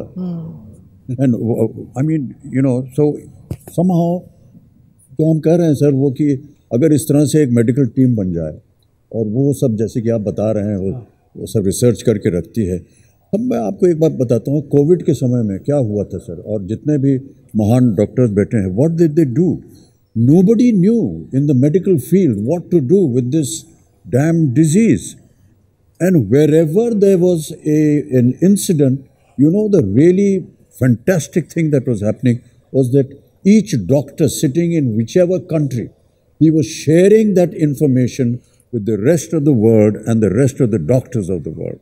And they were giving their inputs. And this doctor would then study these inputs for that particular patient in that particular region and start treatment. तो इस तरह से अगर एक मिलजुल करके एक ऐसी संस्था बन जाए जी। सरकार की ओर से जैसे एवरीवन मेडिकल फ़ील्ड पीपल वो लोग जा करके भी इनसे सलाह मशवरा कर सकते हैं। एक साथ अगर काम करें रवि मैं आपसे भी ये सवाल पूछना चाहूँगी how do think a body जैसे अमिताभ जी बात कर रहे थे मंदाविया जी से how do think a body like this will help planning intervention and programs on ground specially because so many of the programs which we been doing in the past so many years they are based on public private partnerships पर based है देश के all over the country और अलग अलग जो health issues है उस पर फोकस करती है। Thank you so much Ambika for asking me this question. I will give you the example of our Honorable Prime Minister and our first season of Detol बनेगा स्वस्थ इंडिया जिसके अंदर हम लोग बात कर रहे थे बेसिकली कि हमें एक हाइजीन इंडेक्स बनाने की ज़रूरत है जिसमें डॉक्टर इंदिरा भी हमारे साथ में थी सर आपके साथ में भी हमने हाइजीन इंडेक्स बनाया। सर हमने एक सिटी से हाइजीन इंडेक्स चालू किया था। एक सिटी से दो सिटी दो सिटी से दस सिटीज़ दस सिटी से पच्चीस सिटीज़ फिर हमें एक अपॉर्चुनिटी मिला इस इंडेक्स को पब्लिक करने का। हमने उस इंडेक्स को पब्लिक किया। पब्लिक करने के बाद में वो स्वच्छ सर्वेक्षण के रूप में बदला सर और आज स्वच्छ सर्वेक्षण जो है वो पूरे इंडिया के अंदर यूज़ हो रहा है। You have the ranking Indore का रैंकिंग है वाराणसी का रैंकिंग है सूरत का रैंकिंग है। पूरे इंडिया का आप रैंक देख सकते हो कि स्वच्छता के पैमाने पे कैसे क्या चल रहा है। इसका शुरुआत भी ऐसे हुआ था। अभी जो ये जो काउंसिल ऑफ़ थिंकिंग कोचेस की बात है सर पूरे इंडिया में एक भी काउंसिल नहीं है थिंकिंग कोचेस की वन हेल्थ पे या हाइजीन पे. ये एक बहुत बड़ा अपॉर्चुनिटी है इंडिया का ग्लोबल साउथ में अपनी पोजीशन को एस्टेब्लिश करने के लिए. और इंडिया की पॉपुलेशन के लिए क्योंकि अब 1.4 बिलियन पॉपुलेशन है अगर हमारे पास में इतने ज़्यादा लायक डॉक्टर्स हैं इंडिया में तो एक डॉक्टर्स का थिंकिंग कोचेस का हम एक ऑर्गेनाइजेशन सेटअप करें under your a leadership kind as a think जो कि वन हेल्थ के जो इश्यूज़ हैं जिसके अंदर हाइजीन भी इशू है इन्वायरमेंट भी इशू है इन सबको साथ में लेके डिस्कशन हो। एक सर दूसरी बात ये भी है कि हमने मैंने सर अराउंड फाइव इयर्स पहले रैकेट ग्लोबल हाइजीन इंस्टीट्यूट का स्थापना किया लंदन के अंदर जिसमें एम्स के जो डॉक्टर हैं doctor Guleria he was a part of that सारे जो कॉन्टिनेंट से हर कॉन्टिनेंट से एक एक डॉक्टर को लिया मैंने सर उस पूरी काउंसिल को हमने इस्टेब्लिश किया ग्लोबली और अभी येल यूनिवर्सिटी के साथ में हमने एक स्टडी पब्लिश किया। क्लाइमेट चेंज और डायरिया के ऊपर क्या इसका इम्पैक्ट है? That was the first study in the world which came out from there sir it's very interesting पहले यही देखते थे कि जितनी बाढ़ आएगी तो डायरिया के केसेस बढ़ेंगे कॉलरा के केसेस बढ़ेंगे। एस्टैब्लिश करना ये फैक्ट कि बेसिकली अब जैसे क्लाइमेट चेंज होगा आप वैसे आप वाटर को सिक्योर कैसे करोगे? वाटर का स्केसिटी होगा उसका स्टोरेज की इश्यूज़ होंगे। उसकी वजह से क्या डायरिया के केसेस बढ़ेंगे कि नहीं बढ़ेंगे? तो हमने मल्टी कंट्री ये स्टडी किया सर येल के साथ में Yale school of public health के साथ में। तो मैं वैसे ही बोल रहा हूँ कि एक थिंकिंग कोचेस का एक इंस्टीट्यूट हम एस्टैब्लिश करें अंडर द मिनिस्ट्री जिसमें प्राइवेट भी हो प्राइवेट फंडिंग भी हो गवर्नमेंट फंडिंग भी हो और इंडिपेंडेंट जो डॉक्टर्स हैं सब Padma Shri Padma Vibhushan they all come together and you know they drive this agenda for the nation building And like today, we are उसमें जो आपने कहा है जी सर। बहुत अच्छा सुझाव है। जी। आज अलग अलग लेवल पर काउंसिल के रूप में काम होता है। लेकिन उसको एक फॉर्मलाइज करके पीपीपी मोड में प्राइवेट और गवर्नमेंट दोनों सेक्टर को इकट्ठा होकर एक ऐसा फॉर्मेशन आपका सुझाव है कि जो डिबेट और डिस्कशन के लिए परमानेंट हो, उसमें नए नए लोग आते रहे काउंसिल के रूप में डिबेट डिस्कशन करता रहे एक्सपर्ट ओपिनियन पर डिबेट होती रहे वर्ल्ड में जो न्यू एरा है, उसके ऊपर debate discussion new research new innovation new disease new study उसके ऊपर डिबेट डिस्कशन होती रहे।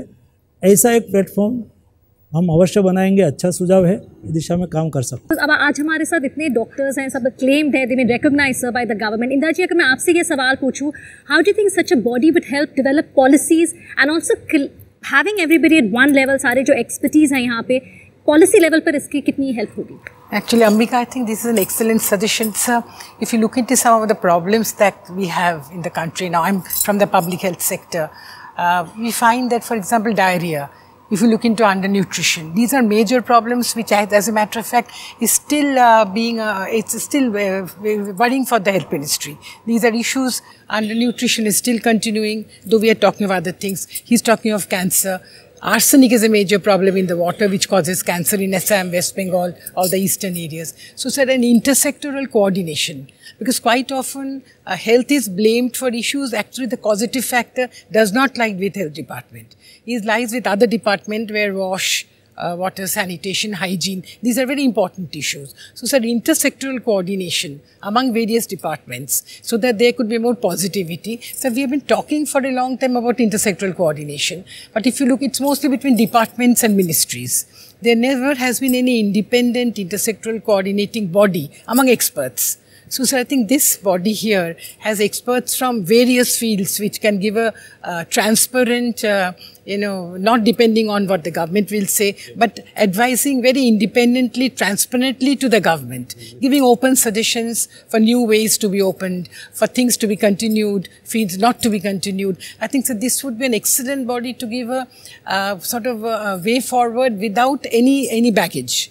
And secondly, sir, uh, new ways, new methods, new ideas, uh, new horizons can come up from a body like this, sir. बिल्कुल। एक छोटे से break के लिए रुकना है लेकिन मनसुख मंडाविया जी आप इतनी देर बैठे और आपने अपनी बात भी रखी बताया कि सरकार क्या कर रही है और यहाँ जितने डॉक्टर्स हैं उन सब की बात सुनी उनको आश्वासन दिया है कि किस तरीके से क्या क्या काम सरकार कर सकती है। इन सब चीज़ों के लिए आपका बहुत बहुत धन्यवाद। इस कार्यक्रम में भाग लेने के लिए आपका बहुत बहुत धन्यवाद। उम्मीद है आपको भी अच्छा लगा होगा इस कार्यक्रम में भाग लेकर के। थैंक यू थैंक यू एक छोटे से ब्रेक के लिए रुक रहे हैं अभी लौट।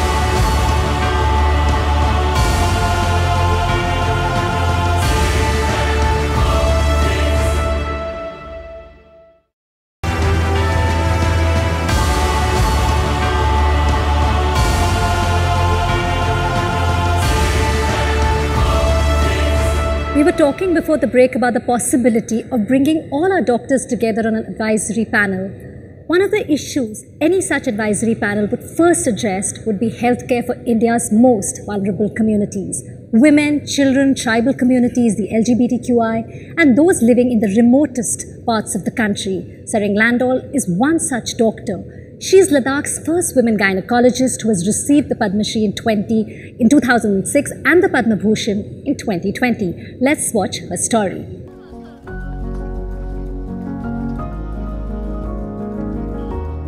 For more than four decades, Dr. Sering Landol has been treating patients without charging them a single rupee.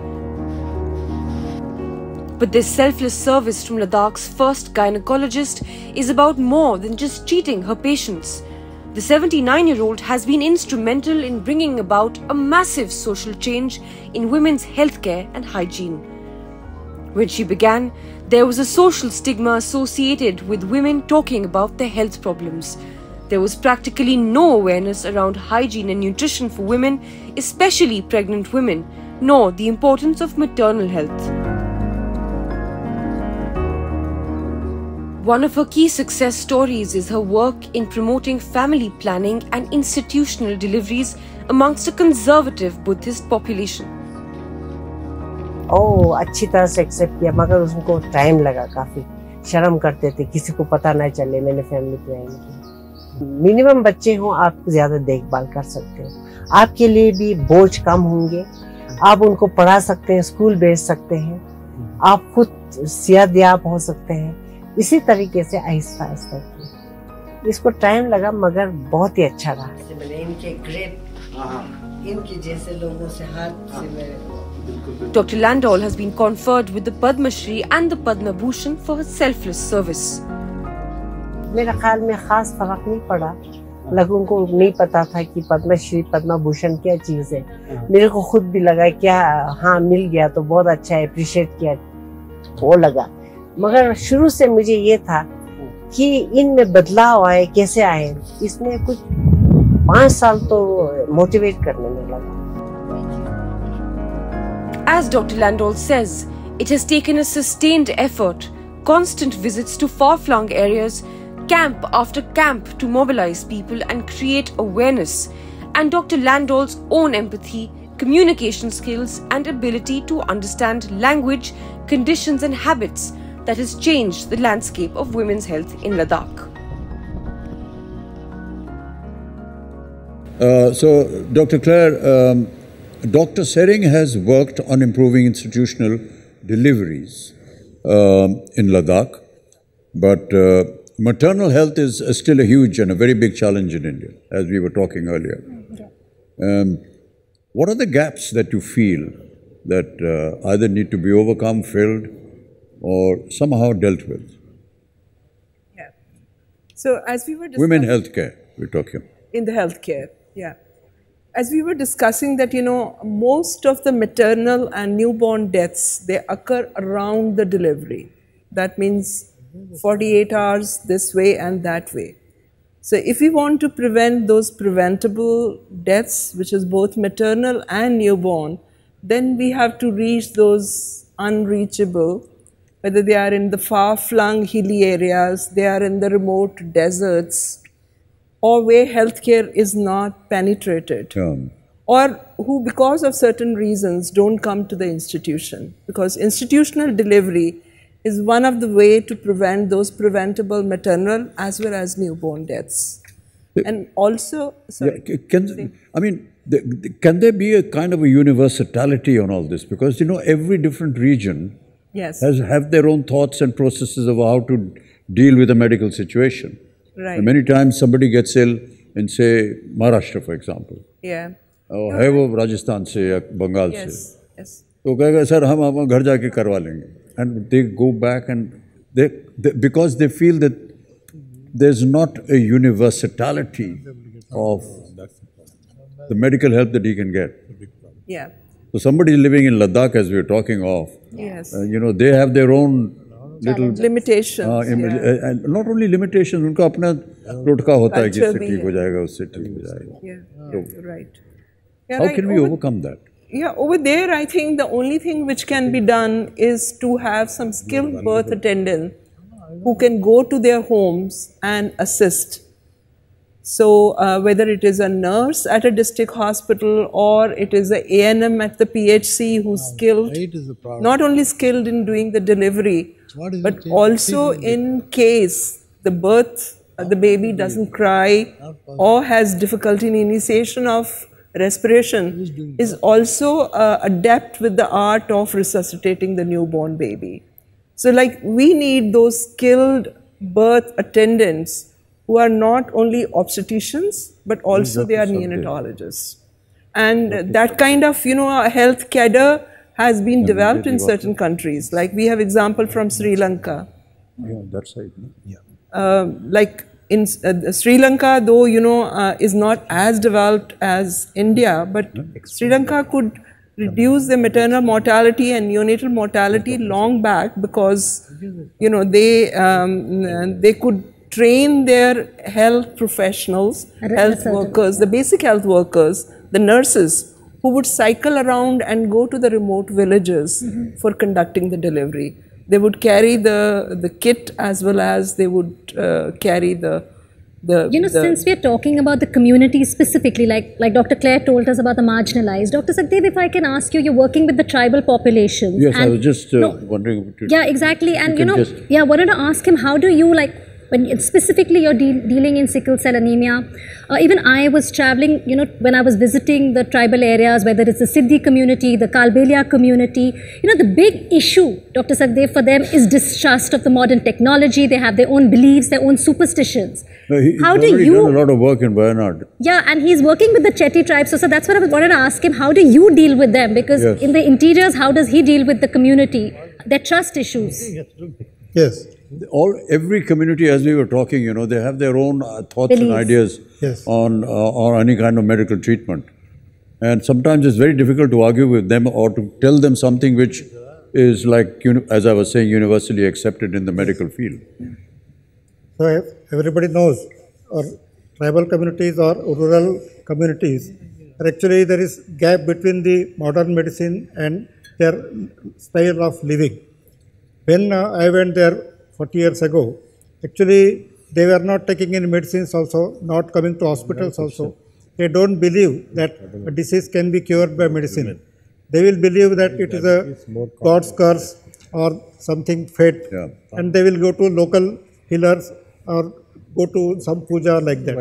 So that was the first challenge when I went there to earn their confidence that when we go to them for treatment, whether he believes in me. So what we do, we started mobile medical unit and Swasthya Mitra schemes. We developed Swasthya Mitra, that is health workers. We trained the, we contacted local persons, made them have this uh, local youth trained in first aid health education. And they, we have got 125 Swasthya Mitra is our Wayanad. We have got one teacher schools, 125. They are from the local community. So they look after and help the local community to uh, talk with them, find out what is any illnesses are there, advise them, give them health education, and if there is illness, they are transferred to our hospital. So our Swasthya Mitra is our link between the local community and our hospital. So that is what it can be developed. Yeah, you know, uh, many times, like uh, uh, we had a huge problem in polio. It took us almost eight years to convince people that you know this is very valuable. A lot of communities said, you know, you're actually poisoning us, and we had to spend a lot of time and and energy in convincing them. Yes. So I I, I'm, I can well imagine what you all must have gone through. I am sure you must be facing ये आप महसूस करते होंगे वहां पर जमीन पर बहुत सारे लोग अ, इसी तरीके की बात करते होंगे। जैसे कोविड की वैक्सीन को लेकर के आशा कार्यकर्ता जो हैं उनको बहुत दिक्कतों का सामना करना पड़ा।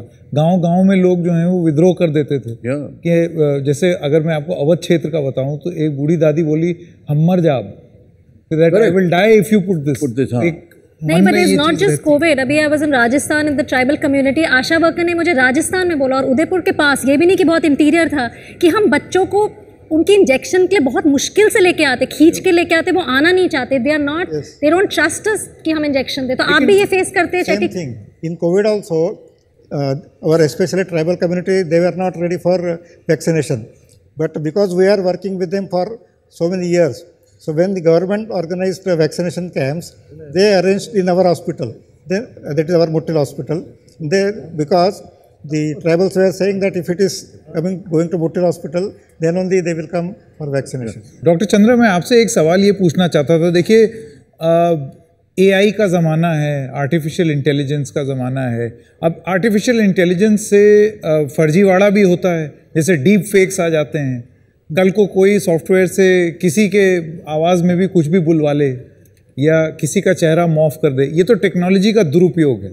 But artificial intelligence helps also technology helps also Safdarjung अस्पताल की कुछ रिपोर्ट हमने अ, कुछ महीने पहले चलाई अपने चैनल में कि अब रोबोट ऑपरेशन कर रहा है रोबोट के मदद से ऑपरेशन हो रहा है आप क्या देखते हैं टेक्नोलॉजी का रोल आगे आने में? और ख़ास तौर से आर्टिफिशियल इंटेलिजेंस का रोल तो संकेत आर्टिफिशियल इंटेलिजेंस एक नया रेवोल्यूशन है I must say ever there is a revolution there will be misuses also but it is a very good revolution because अभी एक स्टडी हुई थी हार्ट के सिलसिले में ये एक एकोकार्डोग्राफी एक जाँच होती है हार्ट की उसमें आर्टिफिशियल इंटेलिजेंस द्वारा रिपोर्ट को कंपेयर किया गया और जिन लोगों ने किया उसको आपस में कंट्रोल किया गया तो मालूम पड़ा कि आर्टिफिशियल इंटेलिजेंस की रिपोर्ट ज़्यादा बेटर थी बट उसका मतलब ये नहीं है कि हम लोग सब आर्टिफिशियल इंटेलिजेंस को दे देंगे क्यों क्योंकि medicine is a combination of two things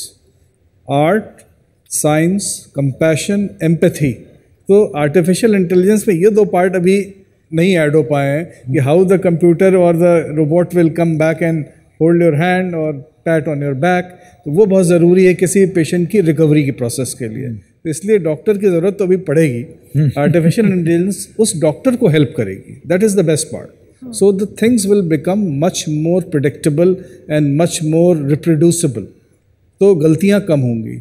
but and में मैं एक बार और कहना चाहता हूँ कि we are not living in a very pessimistic world we in India at this time are at a very good situation as far as the health is concern आज से 25 साल पहले या 30 साल पहले जब हमने MBBS किया था अपना, तब हार्ट डिज़ीज़ के लिए और कितनी बीमारियों के लिए लोग बाहर जाते थे आउट ऑफ़ इंडिया ट्रीटमेंट कराने के लिए। और हम लोग ट्रेनिंग करने के लिए बाहर जाते थे। I got treated train in France for this thing but today in India we can provide the best quality of care with the best medicine made in India and the best you know hardware जैसे stents हैं valve हैं, सब India में बन रहे हैं they are very good quality at a very low price so we are now in India, at least as health is concerned, we are in a very positive situation. और हमारे पास पूरी दुनिया से पेशेंट्स आते हैं ट्रीटमेंट कराने के लिए एट वन थर्ड और one fourth the price So this is what I wanted to end with that we are not in a very bad situation. We are in a good situation and doctors are coming to get trained by us in India. Since we're talking about doctors, uh, Dr. Kannan, how do we attract the right skill to the right place? How do we create an ecosystem that supports healthcare professionals who work in re- rural India? How do we ensure that doctors are there, especially in the remote and rural areas? So, um, this requires a multi-sectoral approach, truly a multi-sectoral approach. The answer is not to, part of it may also be to say you train as a general surgeon, you do an MCH in whatever, you serve in a rural area. But that compulsion is not going to be sustainable. What is done democratically will be sustainable with the will of the people. And that requires, one is as part of training to talk to uh, doctors you know that component humanities in healthcare education is is not greatly emphasized but we have to introduce humanities to talk to doctors starting from their mbbs times from mm-hmm. the first the The beginning. kindergarten stage of um, uh, doctors to get them into that service mode. Mm. That, that that is very important and that that will go a long way. The other thing is to incentivize doctors when they work in difficult areas. And the third thing is to use technology to support doctors. See, I work in an area where we don't have intensivists. That means somebody who's critically ill will have nobody to look after that person. Yeah. And so we work with a group of intensivists working in Bangalore on the cloud. We have what is called a cloud ICU, and that works so remarkably well. Hmm. And so it supports all of us. I'm more confident of treating sick people because we don't have access to good pathology services. And so we're working with what we call as the National Cancer Grid to create telepathology. And technologies are available. We can make the slides and somebody sitting 2000 kilometers away can report the pathology slides. And so it is important to support doctors. If you train a young doctor and post him into a remote area, he's not, not equipped to deal with complex situations. And that is a disincentive that will dis- demotivate him. And so we have to use a combination of psychology and incentivization and technological support and have senior people support. Multiple things have to happen, but it can happen. Okay okay doctor Indira एक सवाल मैं आपसे पूछना चाहता हूँ हमारी ये जो मुहिम है इसका हिस्सा आप भी रही हैं अ, सुझाव के माध्यम से भी अ, जज्बात के माध्यम से भी हर तरीके से लेकिन नौ साल पूरे हुए हैं और दसवें में हम प्रवेश कर रहे हैं तो आपको क्या लगता है कि वो कौन से मुख्य मुद्दे हैं जिन पर हमको आगे ध्यान देने की आवश्यकता है? So I think now coming into the tenth season way we are coming in there are actually lot of expectations and lot of hopes lot of aspirations that are link to it definitely now I think now formation of a council is something very important because as I mentioned, intersectoral coordination is extremely important because there have been certain public health related diseases which I mentioned like uh, diarrheal diseases, anemia, undernutrition uh, it has not been controlled in spite of so many years. And I think this is where a council like this will be of great help. We've been talking of gut health, and we all know that gut health is intricately related to environment. Intricately, because you have environment, um, uh, the uh, EED, which is the, you see, people, children can eat a lot of nutritional food, but they'll not be absorbed if there is diarrhea. They'll all, all go, it's like a leaky, leaky pot. It'll go out. Therefore, to control malnutrition, unless you link environment to it, you can't control diarrhea, you can't control undernutrition, you can't control anemia, which is so linked to the worm infestation, open sanitation. So I think it's very important that a linkage is created among these different uh, department and ministries. And I think the next season should be that uh, this uh, uh, this wonderful group of three, the three pillars, should get together to see how independently the government can be advised uh, to take this forward. Right. Dr. Seshaya, sorry, I, I'm, uh, I know that uh, you've been a little impatient, now but it is- this- just uh, one last request. How do you see the future of medicine in India? It is very much advanced, it's going up. It's not, we are not go- going back. As somebody was saying, not developed country, it is developed country, not developing, now developed. So we are progressing very, very well. So only thing is, We are known as the pharmacy bank of the world, India. Am I right? Yes, the pharmacy that? capital, Yeah. yes. So, uh, eh, now my, uh, what do you call, uh, aphorism, yeah. message, I don't want to tell the word prevention of diabetes. That is uh, what confused people. Must say primordial prevention diabetes. That is the message you must spread everywhere in the NDTV. You put that primordial prevention of diabetes, focus on the fetus for the future. Yeah. That's all. Thank you so much. That means diabetes will disappear from the country. Primordial prevention of diabetes, focus, F, F, focus on the fetus, F, future, for the future. Focus on the fetus for the future.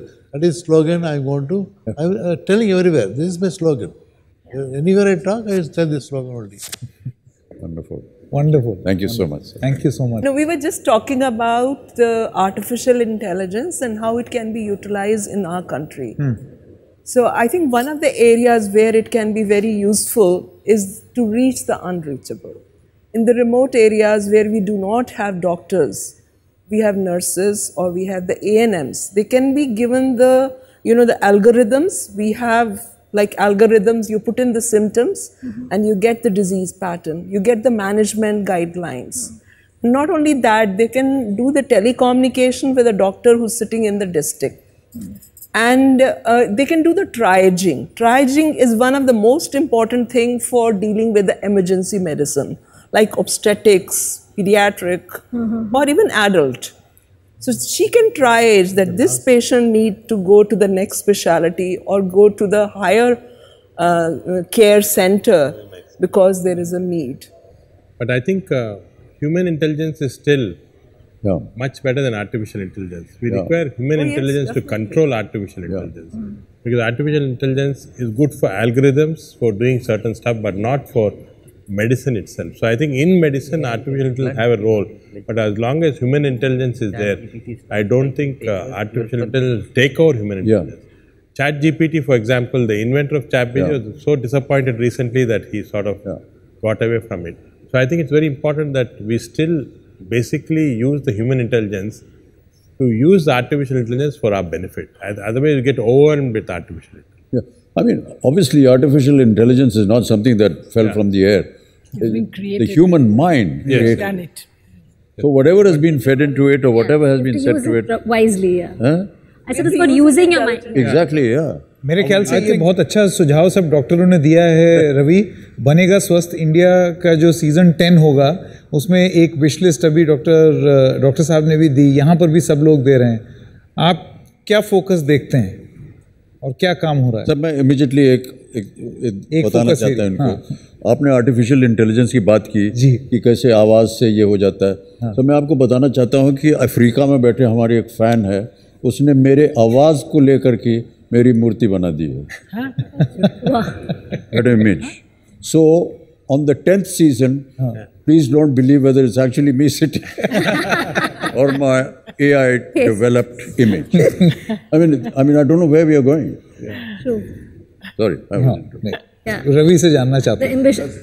आगे के लिए आपका ambition Ambition, uh, yes, uh, we are doing a lot of work on the technology bit. Uh, on the open AI, we have last year we have launched together uh, uh, chatbots, uh, which are for the Durex Birds and the Beestock program, also under the Detol Banega Swast India, which cater to around 4 million kids in the Northeast. Uh, ranging from the bordering districts of, uh, you know, uh, Arunachal Pradesh to Nagaland to many others. So uh, one is that. Second is like you know, also working on uh, making the voice modules under the uh, you know open AI, so that the questions can be asked in the villages and people can reply अब भोजपुरी में question कोई पूछ रहा है और उसका जवाब doctor को समझ में नहीं आ रहा कि उसका लैंग्वेज का प्रॉब्लम है तो वो लैंग्वेज इंटरफेस को कैसे आ, आप सॉर्ट आउट कर सकते हमारे पास भेज दीजिएगा हम बोल देंगे। नेक्स्ट रिसर्च के लिए आ, संकेत. Research is also very important when I say research there is one part of research which is epidemiological research the second part which is a social research there is a third part which is more from the point of view of you know return on investment and all that. But what I really think on the public health point of view is it's very important to invest deeply into the ethnographic studies because we don't understand the ethnography.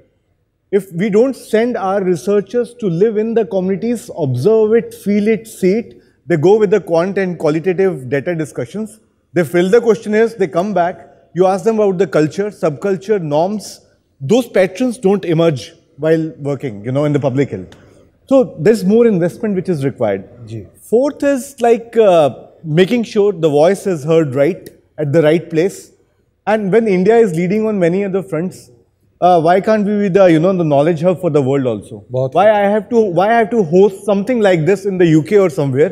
Why can't we host in India with all the doctors and the you know the great people we have in India? Correct. That's बहुत- my last wish list. बहुत ही अ, बहुत ही बढ़िया अब इंतज़ार रहेगा season ten का अक्टूबर 2023 का जब हम सीज़न टेन लॉन्च करेंगे बनेगा स्वस्थ इंडिया का। आप सभी लोगों का सब डॉक्टर्स का बहुत बहुत धन्यवाद हमारे साथ यहाँ जुड़ने के लिए। रवि भटनागर आपका बहुत बहुत धन्यवाद और ख़ास धन्यवाद अमिताभ बच्चन जी का। अरे नहीं लगातार इस मुहिम में। बड़े महारथी सब बैठे हैं उनको प्रणाम करते हैं हम। बिल्कुल। और बहुत बहुत धन्यवाद। You are the you know the knowledge and you are the future You will take us, sir. We, we survive because of all of you and your thinking. So thank you so much for being with us today. Thank you so thank much. You. Thank you so much. Thank you so much for coming.